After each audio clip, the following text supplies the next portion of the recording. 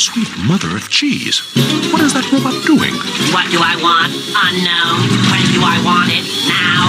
What do I want? Unknown. Hey, get back to work. Negative. Well, why not? I am doing all of the work. Well, of course.